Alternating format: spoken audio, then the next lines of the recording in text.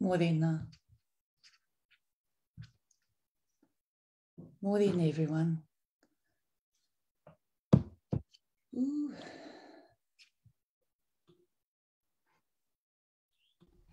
My name is Dr. Diana Kopua. I'm a, an independent psychiatrist coming to you from Turanganui-a-Kiwa. I'm a fellow of the College, the Royal College of Australia and New Zealand, the Australia New Zealand College of Psychiatry, and uh, for a little while now, I've been um, doing some readings for um, for you. This is the book. Dr. Joanna Moncrieff is a, a UK-based psychiatrist uh, talking to you about psychiatric drugs, the truth about how they work and how to come off them. It's a big day for us today, and um, so I'm going to do a quick reading about the newer antipsychotics and the effects on symptoms, and then um, I'll come in again tomorrow and take a little bit more time. It's our first intensive day of our Rangiparori training. If you're interested in any of our training, go onto our website mahiaatua.com. Right, newer antipsychotics. Some of the newer antipsychotic drugs, such as risperidone and amisulpride, appear to work in much the same way as the older ones and have significant antidopaminergic effects. Risperidone, for example, causes overt Parkinson's symptoms at moderate to high doses. However, olanzapine and, uh, and clozapine appear to induce Parkinson's disease type symptoms only at much higher doses. This suggests that their anti dopamine effects are weaker and that their therapeutic effects may be related to their actions on other neurotransmitters, including noradrenaline, serotonin, and histamine. At lower doses, they have strong sedative effects and can reduce the intensity of psychotic symptoms such as delusions and hallucinations. They dampen down emotional responses and reduce motivation and initiative, but in a subtly different way from drugs like haloperidol, whose principal action is opposing dopamine activity. People taking clozapine in particular often appear calmer and more placid than before, report improvements in sleep and anxiety, and are less troubled by their inner thoughts. These effects may be related to these drugs' ability to cause metabolic disruption and substantial weight gain. Quetiapine has sedative effects and, like clozapine, has relatively weak dopamine blocking properties. However, it does not produce the degree of weight gain or metabolic disruption associated with clozapine. Aripiprazole, which was introduced in 2002, is referred to as a dopamine partial agonist, which means it partially stimulates the dopamine receptors and increases dopamine activity, but also partially blocks them, thus reducing their activity. However, it's not clear how this translate in, translates into psychological and behavioural effects.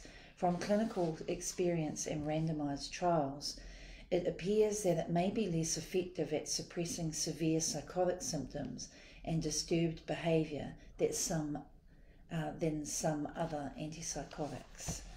So the next part is on effects on symptoms. And aroha mai, if I'm going too fast or you, this is the first time you've joined, uh, please feel free to go through our page and, and start from the beginning. Uh, we're reading this book and we are up to chapter 4 Effects on Symptoms.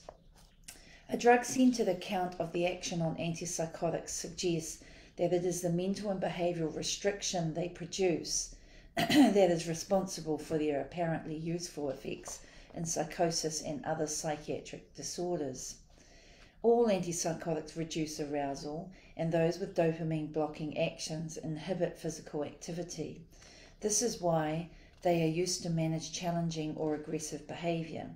They also make people sleep more than usual, which may be helpful to someone with severe insomnia. Their antipsychotic effect is probably achieved by their ability to suppress all mental activity, which helps to reduce the intensity of abnormal thoughts and experiences such as delusions and hallucinations. The emotion dampening effects make people less distressed by their symptoms, as noted by psychiatrists in the mid 20th century, who commented on how the early antipsychotics caused people to lose interest in their psychotic symptoms, even though the symptoms often remain present to some degree. In this way, antipsychotics can be useful for the treatment of acute psychotic symptoms or positive symptoms of schizophrenia. There is no evidence, however, that they are selective for symptoms or for any abnormal thoughts or experiences. Accounts by people who have taken these drugs, alongside the evidence from animal and volunteer studies, indicate they are, that they affect all mental processes and not just those that are classified as symptoms. It is also agreed that antipsychotics are not generally helpful for negative symptoms of schizophrenia. Indeed, the disturbances that are classified as negative symptoms can also occur as a consequence of taking antipsychotic drugs, and it can be difficult to disentangle whether someone is suffering from drug induced deactivation or underlying negative symptoms. Studies show that negative symptoms sometimes improve when antipsychotics are reduced. However, some people with positive symptoms, psychotic symptoms, may exhibit negative symptoms as a result of being so preoccupied with their internal mental experiences that they withdraw from social interaction and become uncommunicative and physically inactive. For people who are in this state, antipsychotics may be able to improve the negative symptoms by suppressing the positive symptoms. In other words, by reducing the individual's preoccupation with their psychotic thoughts, the general suppressant effects induced by antipsychotics may in turn increase their ability to be active in the world and interact with other people. However, it is difficult to see how the more long term defects in motivation observed in some people with a diagnosis of schizophrenia could be helped by deactivating drugs. A small number of randomized control trials that antipsychotic uh, that show antipsychotic drugs are more effective than a placebo in reducing the general level of disturbance and psychotic symptoms such as delusions and hallucinations in people experiencing an antipsychotic episode like the NICE um, has shown that however whether antipsychotics are superior to other sorts of sedative drugs in these respects is less certain. A review of studies comparing benzodiazepine drugs with various antipsychotics produced no clear answer.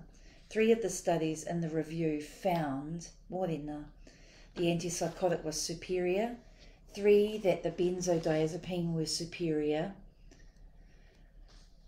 and one was inconclusive. Moreover, some of the studies demonstrated that, like antipsychotics, benzodiazepines reduce psychotic symptoms. In contrast, studies that compared early antipsychotics with barbiturates, another type of sedative drug, found that the antipsychotics were superior. From a drug centered perspective, we might expect antipsychotics to be superior to some other sedatives because of the characteristic nature of the sedation that they produce. Typically, this involves emotional detachment or indifference. In contrast, drugs like alcohol benzodiazepines and barbiturates partic- participate exaggerated and labile or changeable emotions. Therefore, the altered state induced by antipsychotics may be more effective in reducing the emotional distress and preoccupation that is a feature of psychosis than the sedation produced by some other sorts of sedatives. The comparative studies are all decades old, however, and we need further research comparing the pros and cons of antipsychotics and other sedative agents. So, um, if you have only just tuned in, uh, chapter 4 does explain positive and negative symptoms. The negative symptoms is like reduced speech, reduced motivation, social withdrawal, blunted emotions. And uh, so that's what they're talking about there. And whether the drugs do that or not, or sedate the person so much that they go into the internal world and focus on them and don't actually um, communicate with you. So the, there's no clear answer, and what Joanne is saying is that we need more research. If you have a whānau who is um, engaged or taking medication, this information is really important. Uh, mōrina ki a tātou katoa, I am a bit rushed, aroha mai, I'll be, I'll be a bit slower tomorrow. But have a great day, take care. Hooray.